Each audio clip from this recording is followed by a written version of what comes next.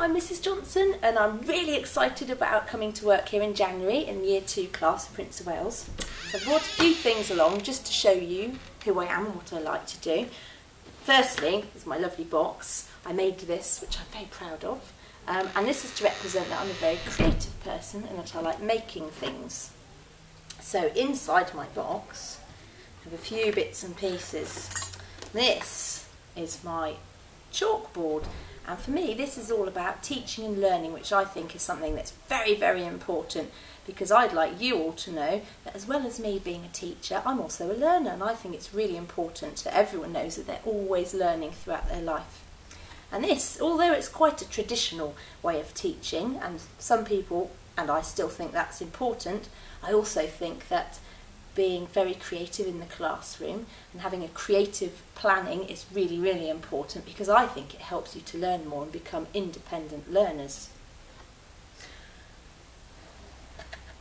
And if we're independent learners and we're doing lots of fun things, planning across the curriculum, joining everything up, it also helps us to have natural questioning skills and an awe and wonder sense of awe and wonder. That's why I bought my lovely stone, because I like children to be able to ask lots of questions and find things out. So if we're doing all of those wonderful things, this is my other thing. I like to think that I, as a teacher, am thinking outside the box, which means I'm trying to think of fun, creative things to do. And I like to bring the idea in the classroom and help you, the children, to run with it and come up with all your ideas. And it's about, as a teacher, not being frightened to do that and going ahead and planning lots of things that you think you would like to learn around our theme. I also think that it's very important to get your mums and dads involved and I have been very lucky in my last school to plan lots of fun, creative home learning opportunities so mums and dads can get involved. So that brings me on to my next item, which is a family photo. There's me, my husband, and that's my daughter Holly, and my little boy Freddie. Holly's now nearly eight, and Freddie will be four. But for me, I'm a mummy, and I think it's really important that for me, I see every single one of you in the classroom, um, just like I'd like my child children to be taught in the classroom. So you're all very important individual people and I'm really lucky that I get to teach you. And I think that's really important for your mums and dads to know that I think that everybody is valued in the classroom and hopefully before this has been very useful for mums and dads and they feel they can come and talk to me. So that's really important for me. Now, this is a strange one. I've brought a little bucket. Something I've, I've found for my school is I think that your PSHE skills are really important. So being able to talk about your feelings.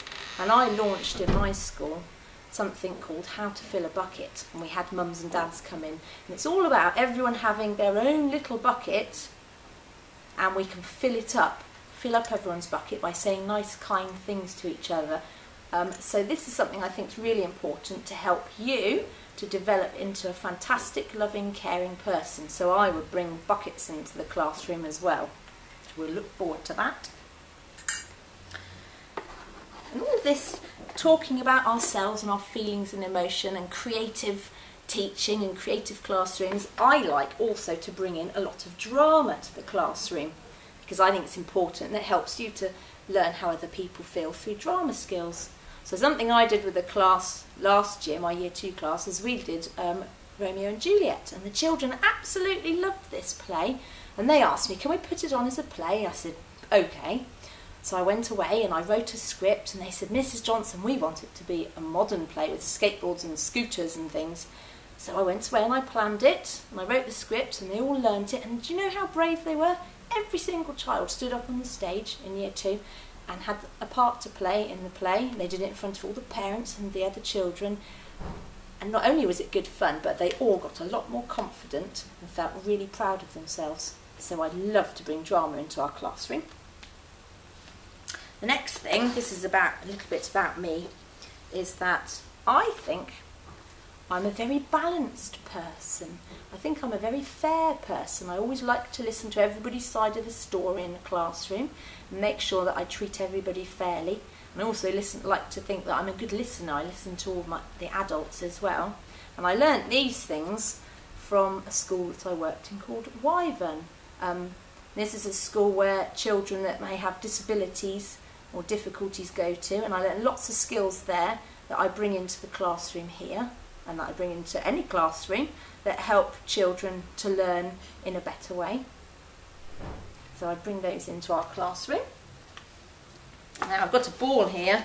It isn't because it's the ball I chose it, it's because of the colour yellow. I think this is a very positive colour and I think it's really important to be positive in the classroom. So I like to give people lots of praise, lots of happiness, thinking about all the good and the positive things. And alongside that, I've also brought my colour wheel because I think I'm a very colourful person. I see lots of things in colour, I like the classroom to be colourful, and I think if you've got bright colours around, it helps you to be more positive and happy. So I bring lots of colour into our classroom. Now, one thing I couldn't bring, because I had to lend it back to another teacher, was a, pit, uh, was a model of an Eiffel Tower. And I brought that in because I like to learn languages. I can speak French and German and some Spanish, and I'm quite happy to bring in bits of languages into our classroom. And I also think that helps us to be creative and appreciate other countries and other cultures. So we'll bring in some, definitely bring in some languages into our classroom. Hmm, what next? Well, along with all the um, positivity and the colour, I also think it's very important. Now, don't tell anyone this but I bring in a bit of magic and sparkle into our classroom. I like to put, I like to have, well, I have a couple of friends that I sometimes bring with me from Dragon World, but yes, we always have a bit of magic. It brings on brilliant imagination and helps us to produce some excellent work, especially our writing. So that's a secret one. I'm bringing magic with me. Now, these three things all go together because um, I think I'm a very spiritual person. Um, I'm someone who's Catholic, that means I go to church, but I don't think that that's the only thing I am. I say I'm spiritual because I was lucky enough to spend a year in Sri Lanka um, teaching English over there, and so I got to see lots of different religions and cultures, Buddhism and Hinduism as well, as well as Christianity. And I think to help someone to, to grow into a very good citizen, not only should they be well behaved and learn well, but they should also have appreciation for other people and other cultures and to be a calm, thoughtful person. So I bring a bit of spirituality into our classroom. Now, finally, I think all these things I have brought in result in this. So I've brought in a heart, which I made um, and this is because I have, I think, a passion for children and a passion for teaching and learning. I don't think it's a job, I think it's a vocation, which means something that I was born to do. And so I absolutely love working with children and I can't wait to come here and be with you. I'm really, really excited. So have a fab half term, have a brilliant Christmas. I can't wait for you to tell me all about it and maybe come in speaking some different languages to me.